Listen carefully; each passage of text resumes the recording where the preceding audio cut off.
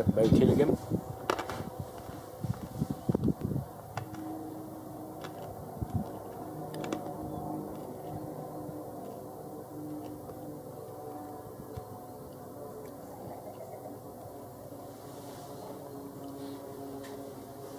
Had some of them mating on the 2nd of January.